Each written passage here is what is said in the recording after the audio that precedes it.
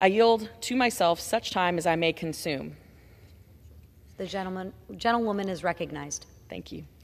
Madam Speaker, this bill, led by my colleagues, Representatives Scott Franklin and Debbie Wasserman Schultz, both of the Sunshine State, has, and as well as the support of the entire Florida delegation, are very urgently calling on behalf of the citrus producers in our state to pass this bill.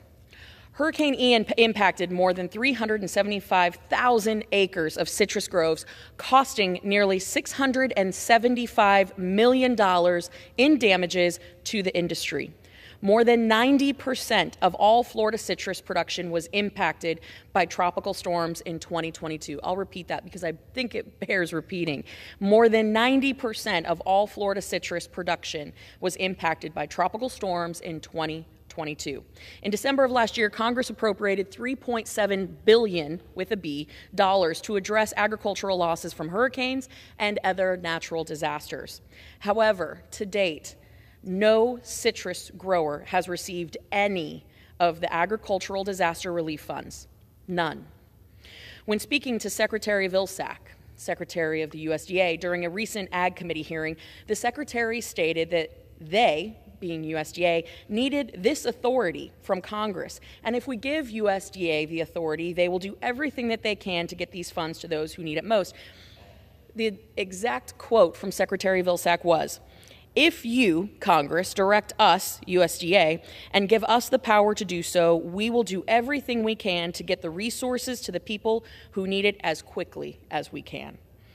This bill would allow the Secretary of Agriculture to create a program within USDA to support specialty crops, including citrus damaged by natural disasters. In 2017, this relief model was successfully used to help growers recover from Hurricane Irma.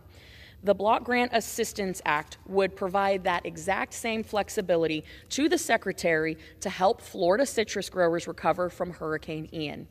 In 2018, Congress gave USDA the authority to issue block grants to states to assist with recovery efforts after Hurricane Irma. In conjunction with USDA Farm Service Agency, the FSA, the Florida Department of Agriculture and Consumer Services, and the Florida Division of Emergency Management, the Florida Citrus Recovery Block Grant Program was created to support citrus growers impacted by Hurricane Irma. The CRBG program was widely successful in aiding the Florida citrus industry. Unfortunately, for our citrus producers, the language in the fiscal year 23 omnibus bill did not provide Secretary Vilsack the direct authority to disperse the appropriated disaster funds via block grant.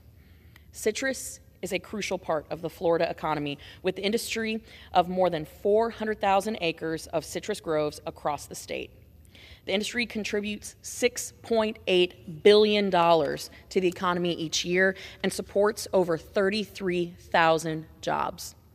Citrus growers have had no shortages of challenges over the past several decades, from citrus greening to natural disasters, high input costs, labor concerns, and beyond. But our state growers have continued to remain resilient. This bill would help our citrus growers recover from Hurricane Ian by allowing the Secretary to efficiently deploy the funds that have already been appropriated by Congress. With that, Madam Speaker, I reserve the balance of my time.